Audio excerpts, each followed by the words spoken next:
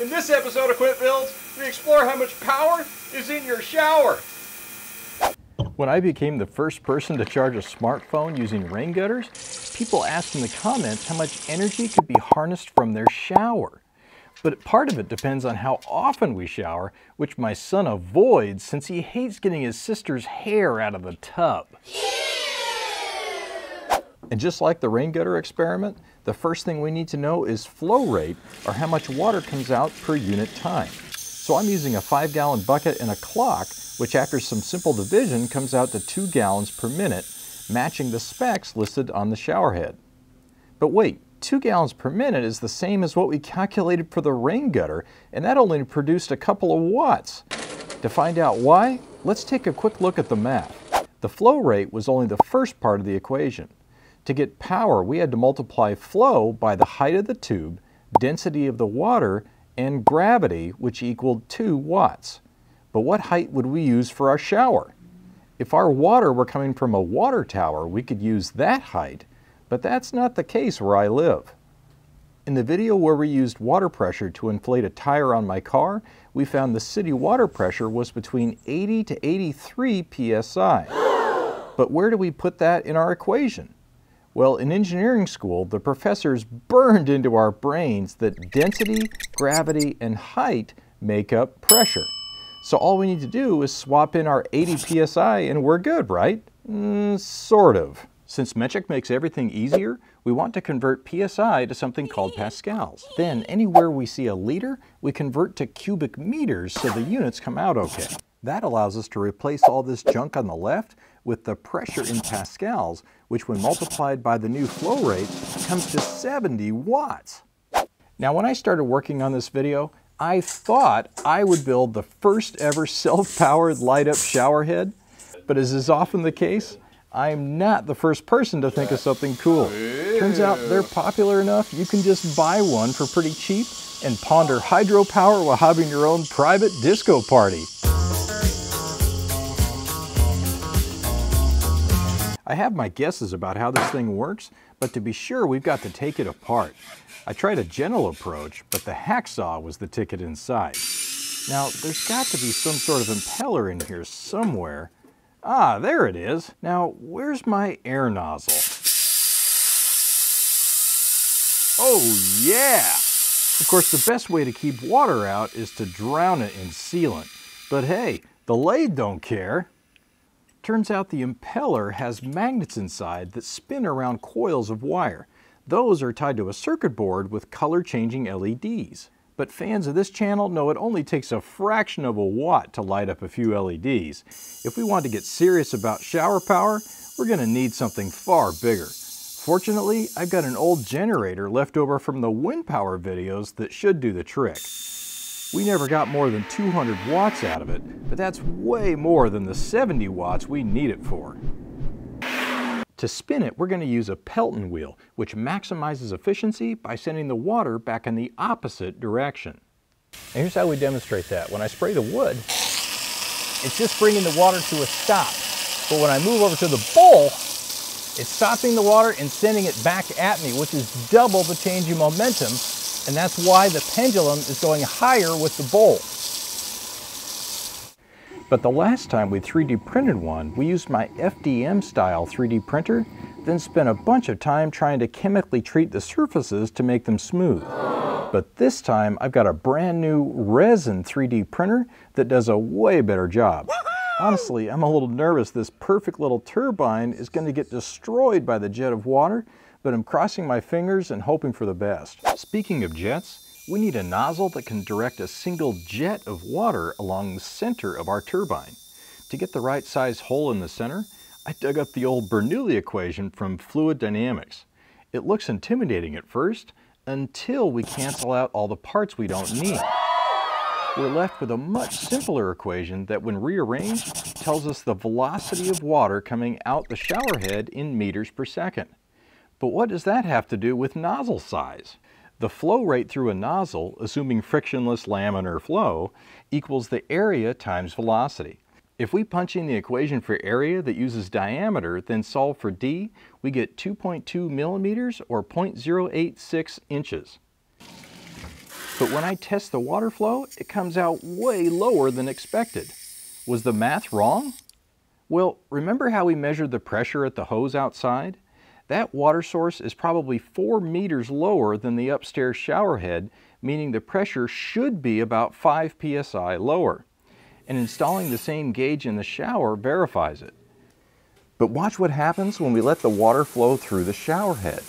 The pressure drops again. Some of this could be the speed of the water near the gauge, but it's also losses due to friction since we don't truly have laminar flow in an infinite tank of water.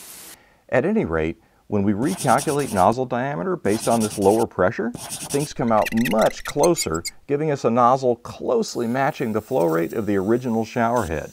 Except this one could pressure wash your driveway. Now that we have a nozzle that simulates the shower head, we need a way to align everything in the shower. This is where CAD really helps get everything just how we want it before fabricating a single part. And this is yet another opportunity to take advantage of 3D printing. When we machine something, every detail takes additional time, but for the most part, when 3D printing, complexity is essentially free. So once the parts are done and we've run them through wash and cure stations, we're ready to mount everything to the wall. The generator looks complicated, but all it does is spin permanent magnets in a circle next to coils of wire. The electricity it makes will change dramatically with the speed of the generator, so the best way to make it usable is with something called a rectifier.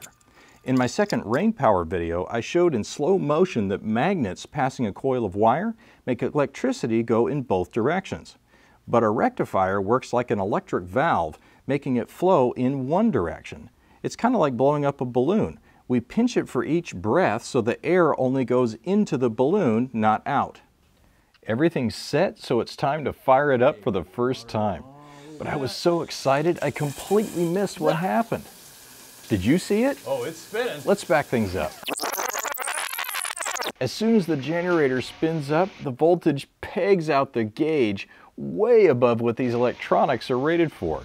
The red flash of light is at least one of the three voltage converters burning up.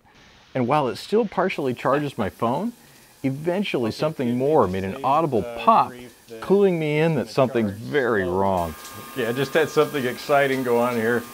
We got a, uh, I heard a pop and the uh, one of the voltage regulators blew apart. There's a piece of it here and uh, I hooked up my voltmeter. No wonder. 65 volts, man. These uh, voltage converters are only designed to have like maximum 35 volts going into them. So uh, I had some concerns last night that this thing wasn't producing enough power to charge my phone, but it turns out it was just way overdoing it, and uh, this one got super hot up here. So uh, I need to figure out how to slow down the power on this thing. The way the shower's set up, uh, I, I can only put a certain minimum flow rate through it. So I need to add some kind of a valve or something to slow this thing down because it is way overdriving the poor little electronics that I put in here. we'll get it figured out though. We'll, we'll, we'll get it. I added a valve to control the water flow and found better voltage converters. But turns out partially opening the valve wouldn't produce much power and opening it all the way would send the voltage too high. That's when I remembered this generator has three phases and simply changing the wiring can have a dramatic effect on voltage. You may have noticed there were three wires coming from the generator, one for each phase. This example is a bit oversimplified, but bear with me. Let's represent each phase with a single coil of wire. In what's called a Y or star configuration, the phases connect at the center and wires connect to the end of each phase individually. But in what's known as the delta configuration, the phases sit like they're holding hands and the wires connect where they meet. But now let's compare how many coils of wire are between the wires going to our rectifier. In the delta configuration, there's only one coil between each set of wires, but in the Y configuration, there are two. So whatever voltage is in a single coil will be doubled in the Y configuration, and that's how our generator is wired. So switching it to delta might just solve our overvoltage problem by itself. Now honestly, I've never rewired a three-phase generator before, and really don't want to screw it up. So I'm making my son Grant do it instead. That way, if it doesn't work, it can't be my fault, right? I found him a diagram for it. What more does he need? I mean, he probably did it right. Well, one way to find out. All right, let's open that valve. Ah.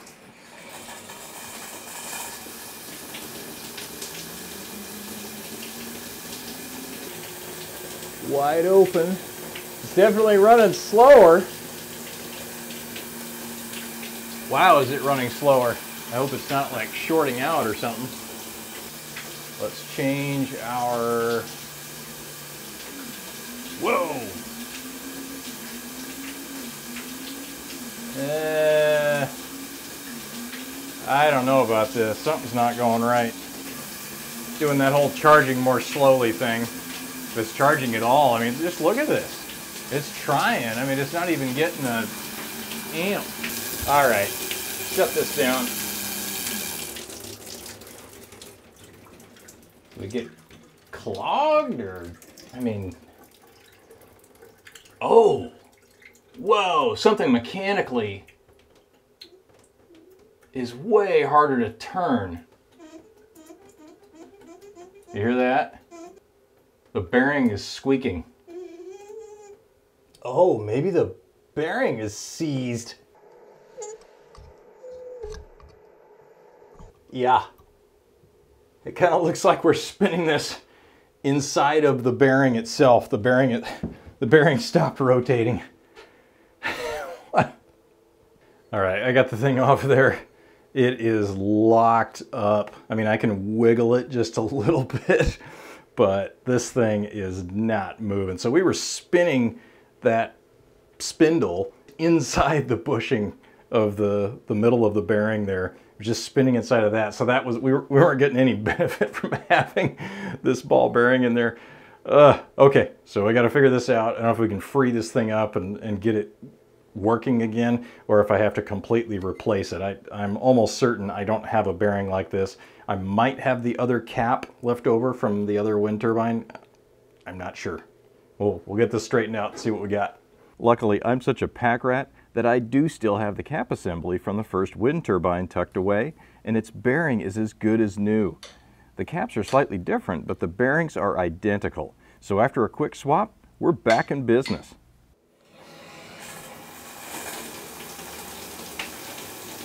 Oh yeah!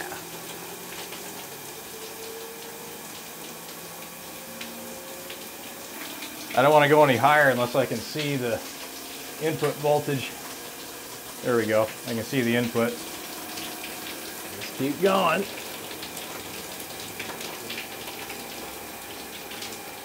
Oh, nice. All right. Full throttle. 25 volts. We're not going to burn anything up. Now, USB. Do it. Come on. Come on.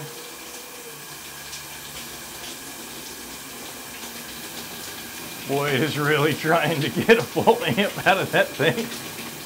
All right, so we are screwing around with 5 volts and 0.6. So what's that going to be? 3 watts? Come on, this thing, this should be putting out way more than this. Why are we struggling? I wonder if I've got the jet in the wrong spot on this thing. Uh, let's play with that.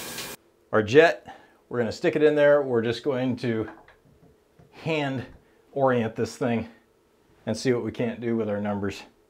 First to verify. Oh yeah. Crazy. All right. Uh,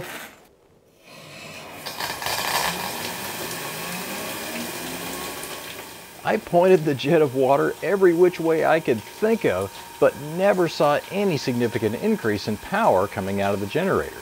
I even tried holding up the hose in case the sharp bend at the end was having an effect. Nah, it doesn't seem to be making much difference at all. But then I remembered this newer voltage converter allows us to limit the current, which should even out the surging of the generator for more consistent uh, charging. Oh, right. We're going to limit our current. A little overcurrent light coming on, I think. So we're limiting it with constant current. We are charging the phone. as the percentage is going up. So it is possible to charge your phone with your shower. We're not just putting voltage into it, we're actually charging the dang thing. Okay, it's working, but that Pelton, I, I'm thinking it's got to be the Pelton wheel. So we know that changing the design or geometry of the Pelton wheel can make a big difference. So easy thing to try. Print out a couple of different ones and we'll see what we get. But before we get to that, I know many of you watch this channel because you want to understand the science behind the madness. Well, if you want to take that to the next level, check out Brilliant, the sponsor of this video.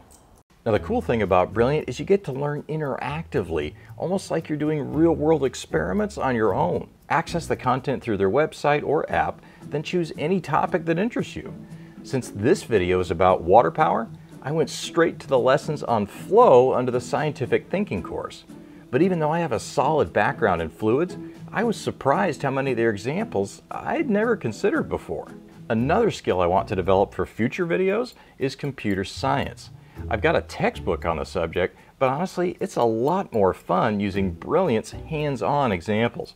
And of course, the more fun it is, the more likely I am to keep doing it, which maximizes results. Believe me, whether you're a complete beginner or seeking advanced math, Brilliant's got something to offer you.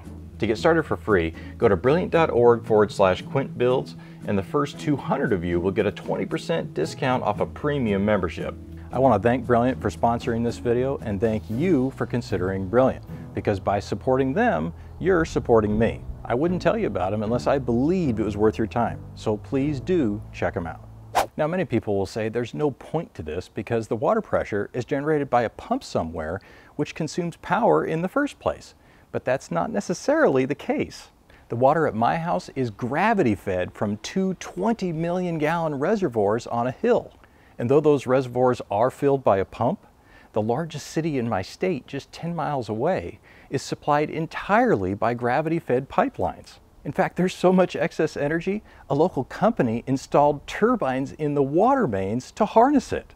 Now, I'm not saying generating power from a shower head is practical, but it is an opportunity for better understanding involving learning and doing.